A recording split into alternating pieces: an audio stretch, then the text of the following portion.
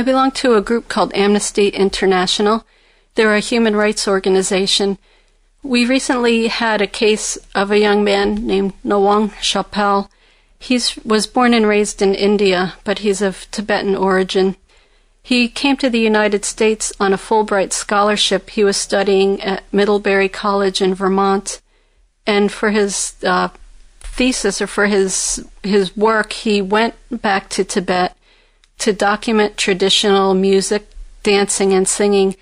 So he was there with his video camera taping lamas chanting and so on.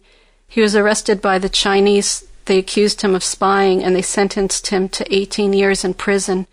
So he's served about three years of that sentence so far. And my group is working to try to get him released. And there's also been some uh, some people in the American government are trying to to help him out too, but so far without success. So far, the only thing we can do is collect signatures on petitions and send them to uh, the White House. But I don't know if that will be effective or not.